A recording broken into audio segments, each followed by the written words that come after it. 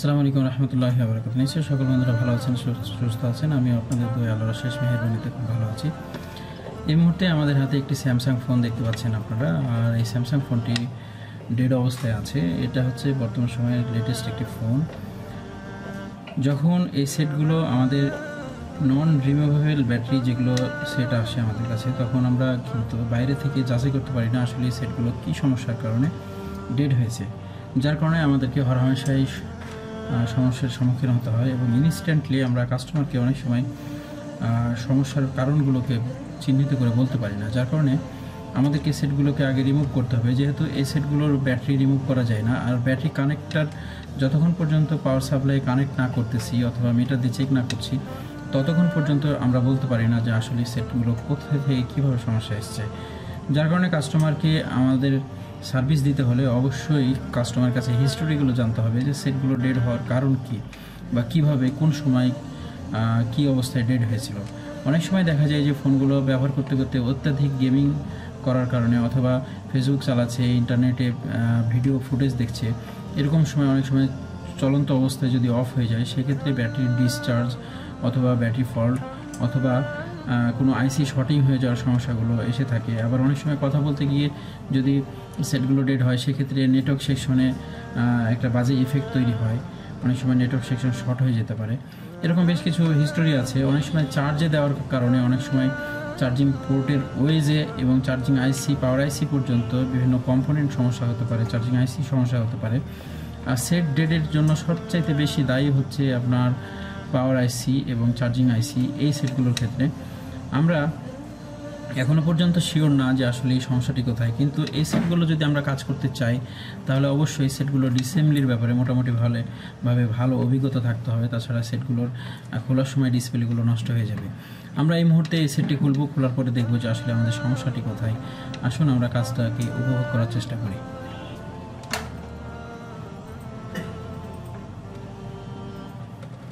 আমাদের কাজ করবে, আমরা টেম্পারেচার দিকে আমরা লক্ষ্য করব। আপনারা দেখতে পাচ্ছেন যে আমাদের টাচ ডিসেম্বলি বা টাচ সেপারেটর যে মেশিনটা আছে, এটা আমরা একশো থেকে একশো দশ, একশো পাঁচ এরকম টেম্পারেচার রাখলেই মোটামুটিভাবে আমাদের ফোনগুলো কার্যকরী হবে। আর আমরা এখন এটাকে বসিয়ে রেখেছি মেশিনের উপরে। কিছুক্ষণ সময়ের মধ্যেই যখন আমাদের পারফেক্টলি হিটটা হান্ড্রেড প্লাস হবে, সেই সময় থেকে আমরা ট্রাই করতে থাকব।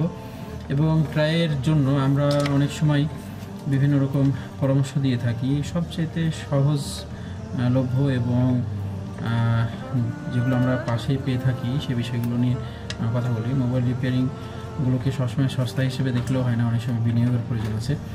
এক্স রে যে প্রিন্ট আছে, আমরা, আমাদের কাছে প্লাস্টিকটা, এটা থেকেই কিন্তু আমরা এই কাজগুলো করতে পারি। আর এটা আমি সবসময় ইউজ করে থাকি, এটা ফ্লেক্স করে।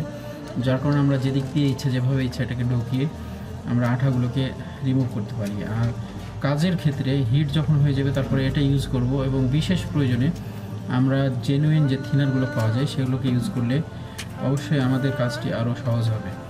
আমাদের হিট মোটামুটি নাইনটি ফাইভ পার্সেন্টে চলে গেছে অলরেডি আর আমরা এই মুহূর্তে আহ, সেটটিকে এখান থেকে তুলব হান্ড্রেড হয়ে যাওয়ার সঙ্গে সঙ্গে এবং এটাকে খোলার জন্য আমরা প্রসেস করব ইনশাআল্লাহ। আমাদের হান্ড্রেড প্লাস হয়ে গেছে। এই মুহূর্তে আমরা এটাকে রিমুভ করার জন্য অবশ্যই এক্স রে যে প্রিন্ট আছে, সেটা দিয়েই চেষ্টা করব ইনশাআল্লাহ। এই মুহূর্তে দেখতে পাচ্ছেন যে এটাকে এখান থেকে ঢুকিয়ে দিতে হবে এবং আঠাগুলো অনেক নরম হয়ে গেছে। দেখতে পাচ্ছি যে খুব সহজে এটা এদিক ওদিক হচ্ছে।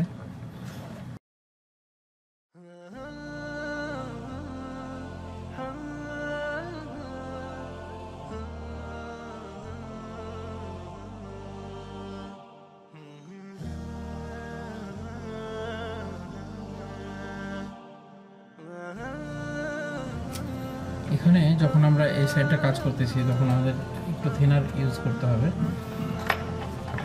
যেটা আমরা ব্রাশের মাধ্যমে দেব।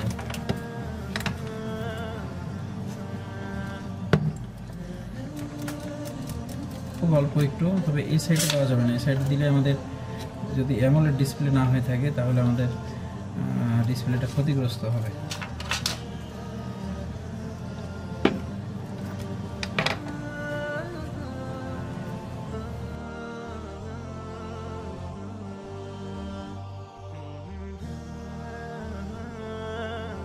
ডিসপ্লে খোলার সময় আমাদের ডিসপ্লে কয়েকটা পার্ট আছে। একেবারে ডাউন পার্টেই এটাকে ঢোকানোর চেষ্টা করতে হবে। তাছাড়া আমাদের ডিসপ্লেটা ক্ষতিগ্রস্ত হওয়ার সম্ভাবনা রয়েছে।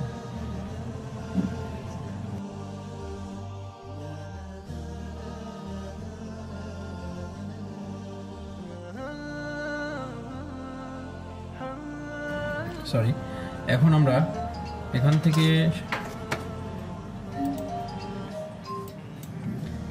এখন আমরা এখান থেকে প্রথমেই খেয়াল করে দেখি যে আমাদের ডিসপ্লে কানেক্টরটা কোথায় আছে এবং ডিসপ্লে কানেক্টরটাকে রিমুভ করে নিতে হবে খুব সেফলি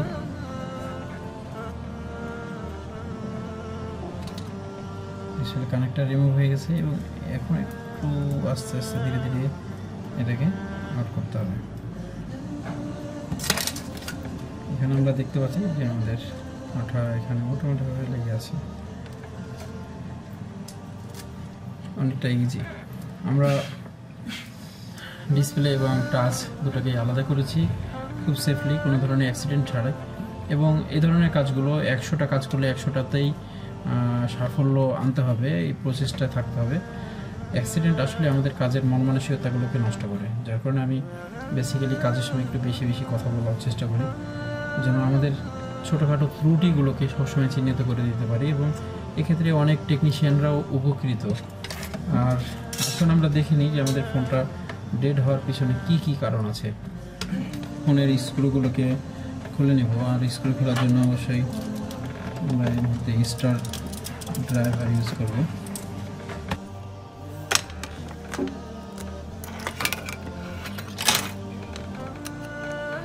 এটা হচ্ছে আমাদের লাউড স্পিকার এটা এক্সটার্নালভাবে এখানে বসানো ছিল আর আমরা এখানে দেখতে পাচ্ছি ব্যাটারি আছে, ব্যাটারি কানেক্টার এখানে। ব্যাটারিটা এখানে বসানো থাকে। ব্যাটারিটা রিমুভ করার প্রয়োজন হয় না। এই সেটগুলোতে আমরা মাদারবোর্ডটাকে এখান থেকে রিমুভ করতে পারব। আর সেক্ষেত্রে প্রথমে আমরা দেখে নিই যে এখানে আমাদের হেডফোনের জ্যাক আলাদা আছে। মাদারবোর্ড রিমুভ করার জন্য এই কানেক্টারগুলো খুব বেশি জরুরি রিমুভ করা।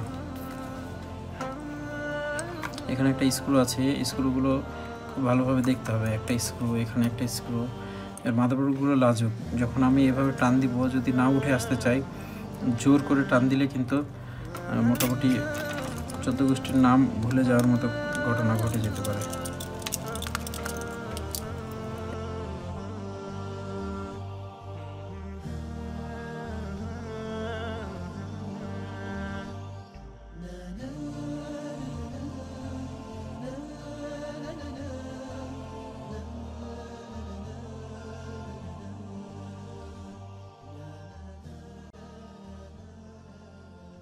এই মুহূর্তে দেখে নিব আমাদের ব্যাটারিটা চার্জ করার পরে কি অবস্থান দাঁড়ায় এবং পাওয়ার সাপ্লাই এই রিডিংটা আমরা ইচ্ছা করলে দেখতে পারব। যে রিডিংটা দেখার জন্য অবশ্যই আমরা পাওয়ার সাপ্লাইয়ের দিকে অগ্রসর হব। এখানে কিছু বেসিক নিয়ম আছে। আমরা দেখতে পাচ্ছি যে পাওয়ার সাপ্লাই কানেক্ট করতে হলে অবশ্যই আমাদের পাওয়ার কি সম্পর্কে ধারণা রাখতে হবে। পাওয়ার কিতে এখানে আমাদের যে সুইচটা আমরা দেখতে পাচ্ছি, এই সুইচটা আসলে পাওয়ার কি? আর এই সাইডে যেটা ভলিউম আছে, এই সাইডে আমরা দেখতে পাচ্ছি ভলিউম আপ ডাউন তাহলে পাওয়ার কি? এখানে দুইটা টিপস আছে দেখতে পাচ্ছি। পাওয়ার কিটা কাজ করছে কিনা সেটাও দেখতে হবে। যেহেতু একটা কাস্টমার সেট নিয়ে আসছে সেটটা তার কাছে কখন থেকে ডেড হয়ে আছে, এটা জানার বিষয়। এমনও হতে পারে যে তার চার্জিং পোর্টটাও খারাপ আছে, যার কারণে সে চার্জ দিতে ব্যর্থ হওয়াতে ব্যাটারিটা আস্তে আস্তে আস্তে আস্তে নিচের দিকে বসে গেছে। আমরা এখানে কন্টিনিউটি রেঞ্জ নিব। ব্যাটারি সুইচ চেক করার জন্য, ঠিক আছে? সুইচ চেক করার জন্য এবার এখানে ইন্টারফেস যেটা আছে সুইচের দুইটা লাইন সেখানে ধরবো এবং সুইচটা চাপ দিতে হবে। সুইচ চাপ দিলে কন্টিনিউটি আসছে, তার মানে আমাদের সুইচটা ওকে তাহলে ফোন অন না হওয়ার পিছনে যে সুইচ দায়ী থাকতে পারে, সে বিষয়টি আমরা নিশ্চিত হলাম যে আমাদের ফোনের সুইচে কোনো প্রবলেম নেই। এখানে যদি আমাদের ফোনটি ফোনটি এ অবস্থায় থাকে ফোনটি যখন এ অবস্থায় থাকবে, তখন আমাদের ক্যামেরাটা থাকবে নিচের দিকে। আচ্ছা এই সময় আমরা দেখি যে আমাদের পাওয়ার কির লাইনটা কীভাবে কোথা থেকে যাচ্ছে। এটা কিন্তু খুব গুরুত্বপূর্ণ একটি সাবজেক্ট নতুনরা একটু খেয়াল করবে। সেটা হচ্ছে যে আমাদের পাওয়ার কি এখানে না? আর মাদারবোর্ডটা এখানে আছে। তাহলে এখানে লাইনটা যাচ্ছে কীভাবে? সুন্দর একটি তথ্য আছে এখানে যে আমাদের স্পিকার আছে না? স্পিকার আমরা দেখতে পাচ্ছি এই সাইডে চারটি পয়েন্ট আর এই সাইডে দেখতে পাচ্ছি আবার দুইটি পয়েন্ট আসলে কোনটা কোথায় কার সঙ্গে সম্পৃক্ত হচ্ছে সেটাও আমাদেরকে জানতে হবে। এটা দেখতে পাচ্ছি যে আমাদের এখানে চারটি লাইন আছে যেটা আমাদের এই জায়গাটাতে সম্পৃক্ত হচ্ছে। আর এখানে যে দুটি লাইন আমরা দেখতে পাচ্ছি, এই লাইনটি গিয়ে সরাসরি পাওয়ার কির যে টেস্ট পয়েন্ট আছে সেখানে যে যুক্ত হচ্ছে এটা। তাহলে এই দুটার সাথে কন্টিনিউটি এই চারটার মধ্যে কার আছে সেটা জানতে হবে। তাহলে আমরা পাওয়ার কি পেয়ে যাব মাদারবোর্ডে ঠিক আছে? তাহলে আমরা দেখে নিই যে আমাদের এখানে কার সাথে কার কন্টিনিউটি আছে। বীজগণিতের সূত্রের মতোই কিন্তু মোবাইল সার্ভিসিং একটু দেখে নিতে হবে, এটা একটু ধরো। এখানে যে কোনো এক সাইড থেকে নিতে হবে এটা। আরও একটা আরও একটা। এটা। তাহলে আরেকটা। আমরা এই দুটাতে পাওয়ার কি পেয়েছি। এই দুইটা। যখন এই দুটাতে পাওয়ার কি আছে, তাহলে আমরা দেখে নিই যে এটা কীভাবে কানেকশন হয়। নিচে এই দুটাতে আমাদের পাওয়ারের কানেকশন পাওয়ার পজিটিভ নেগেটিভ অনেক সময় দেখা যায় যে পাওয়ারের যে লাইনটি আছে, সে লাইনের মধ্যে গ্রাউন্ড পাওয়া যায় না। এরকম হয় ব্র্যান্ডেড সেটগুলোতে আমরা এখানে দেখতে পাচ্ছি একটা গ্রাউন্ড আছে সরাসরি, আর একটাতে ভোল্টেজ থাকবে। ভোল্টেজটা ঠিকভাবে আসছে কি না সে বিষয়টি এই মুহূর্তে দেখে নিই। ভোল্টেজটা আমরা টেস্ট করে দেখি যে আমাদের এখানে ভোল্টেজ কত দেখাচ্ছে। যেহেতু নিচেরটা গ্রাউন্ড ছিল, উপরেরটা আমাদের পজিটিভ পজিটিভে আমরা দেখতে পাচ্ছি ফোর পয়েন্ট সিক্স ফোর যেটা পাওয়ার সাপ্লাই ফোর ভোল্ট আছেই অলরেডি সেটা এখানে শো করতেছে। অনেক সময় আমরা মনে করি যে এখানে ফোর ভোল্ট দেখাচ্ছে, যেহেতু পাওয়ার সাপ্লাই ফোর ভোল্ট আসলে এটা ব্যাটারি কানেক্টারের সাথে সরাসরি সম্পৃক্ত। আসলে মোটেও এটা ঠিক না। কারণ পাওয়ার পাওয়ার পাওয়ার বাটন থেকে সরাসরি গ্রাউন্ডের সাথে শর্টিং হলেই তখন পাওয়ার অন হয়। অতএব এটা পাওয়ার আইসি থেকে সরাসরি সাপ্লাইয়ের একটি লাইন যেটা পাওয়ার কি আমরা এই মুহূর্তে দেখে নিব যে আমাদের পাওয়ার সাপ্লাইয়ের রিডিংটা টানতেছি কিনা এখানে। আমরা দুটো এক জায়গায় করার করে দেখতে পাচ্ছি যে আমাদের পাওয়ার সাপ্লাই রিডিংটা পারফেক্ট আছে এবং সেটা অন হয়ে যাচ্ছে মনে হচ্ছে পাওয়ার সাপ্লাই রিডিংয়ে আমরা দেখে নিই যে এই মুহূর্তে আমাদের ডিসপ্লে কানেকশন করার পরে কি রেজাল্ট আসে। ডিসপ্লে পেজে আমরা ডিসপ্লে কানেকশন করব।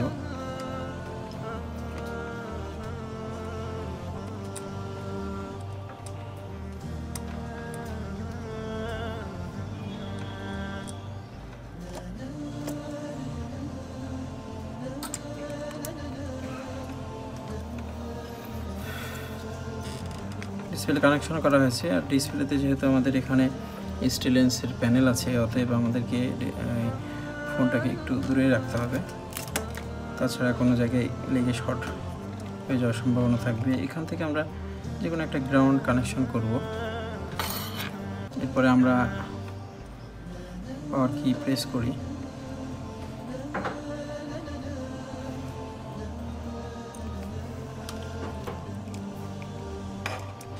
ফোনটি আমাদের অন হয়ে গেছে পাওয়ার সাপ্লাই আমাদের ডিসপ্লের কি অবস্থা একটু দেখে নেই।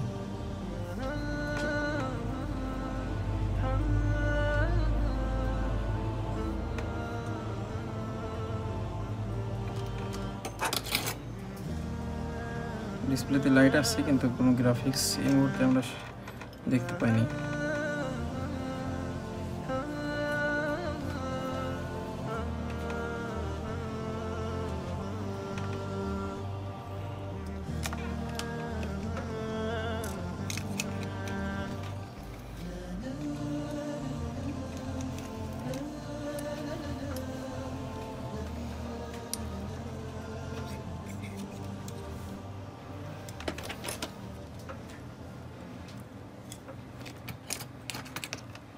আরও একবার আমরা ট্রাই করব।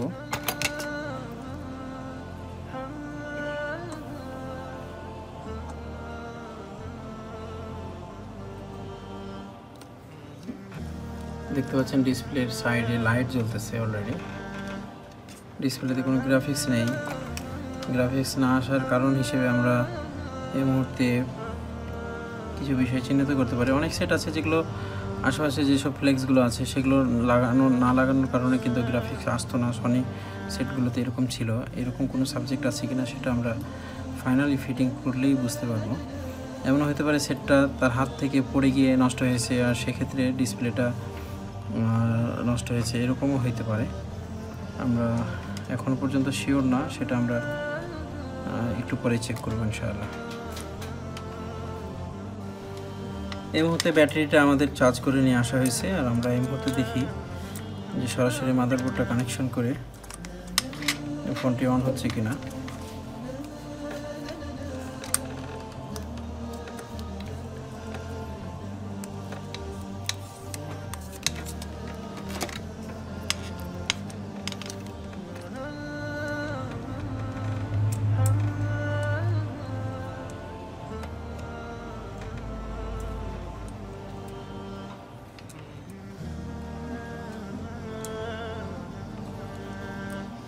যেহেতু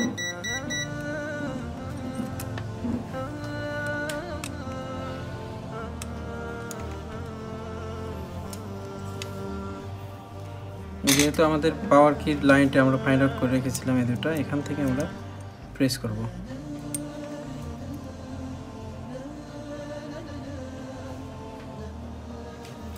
সাইডে লাইট জ্বলছে, তার মানে ফোনটি অন হয়েছে। আমরা দেখি যে আমাদের ডিসপ্লেটা কাউন্ট করছে কিনা। যেহেতু পাওয়ার সাপ্লাই আমাদের ডিসপ্লেটা শো করছিল না, আমরা দেখতে পাচ্ছি যে আমাদের স্যামসাং লেখা চলে এসছে। ফোন ফোনটি কমপ্লিটলি রানিং হয়েছে আর আমরা চার্জ তুলেছি পাওয়ার সাপ্লাই দিয়ে, কিন্তু চার্জটা সম্ভবত যথেষ্ট হয়নি, যার কারণে চার্জারটা এখানে লাগিয়ে দিলাম। সেটা কমপ্লিট অন হওয়ার পর আমরা দেখব। দেখতে পাচ্ছি যে আমাদের থ্রি পার্সেন্ট চার্জ দেখাচ্ছে এবং ব্রাইটনেসটা অনেক কম। এক্ষেত্রে আমরা ব্রাইটনেসটা একটু হাই করি। দেখতে পাচ্ছেন, সেটটি কমপ্লিটলি রানিং হয়েছে এবং কাজটি সাকসেস হয়েছে। আর মূলত এই ধরনের ট্রাবল হয়, ফোনগুলো হালকা কিছু শর্টিং থাকলে হয়। অনেক সময় গেম খেলার কারণে সমস্যাগুলো বারবার ফিরে ফিরে আসে। বন্ধুরা, এই মুহূর্তে আপনাদের সামনে উপস্থাপন করার চেষ্টা করলাম স্যামসাংয়ের ফোনটি। অফ হয়ে যাওয়ার বিষয়টি, আসলে এর চাইতে আরও খারাপ বিষয় হতে পারত। আর যে কোনো কাজের জন্য আমরা প্রস্তুত ছিলাম। যেহেতু ব্যাটারি ডিসচার্জের কারণে ঠিক হয়ে গেছে, আমরা যারা ইউজার আছি, তাদের একটু লক্ষ্য করার বিষয় আছে এখানে যে, আমরা যখন ফোনগুলো ইউজ করব, ফোনের ব্যাটারি এবং ফোনের ক্ষমতার দিকে একটু ভালোভাবে বিশেষ বিবেচনা রাখব, খেয়াল রাখব এবং ফোন যখন লো ব্যাটারি থাকবে, সেই সময় আমরা ফোনের উপর এক্সটার্নাল কোনো প্রেশার যেন না পড়ে এবং মোটামুটি টোয়েন্টি পার্সেন্টের নিচে চলে আসলে তো ব্যাটারি আমাদের রেড সিগন্যালে চলে আসে। আর তারপর থেকে আমরা যথাসম্ভব চেষ্টা করব ফোনগুলোকে চার্জ করার। ডিসচার্জ হয়ে যে যখন ফোন অফ হয়ে যায়, সেক্ষেত্রেও কিন্তু পাওয়ার সেকশনের উপরে বড় ধরনের একটি ইফেক্ট আসে। আশা করি ভিডিওটির মাধ্যমে অনেকে উপকৃত হবে। ভালো লাগলে অবশ্যই সুন্দর একটি মন্তব্য আপনাদের কাছে আমি সবসময় আশা করি। সকলে ভালো থাকবেন, সুস্থ থাকবেন। আসসালামু আলাইকুম রহমতুল্লাহি বরকাত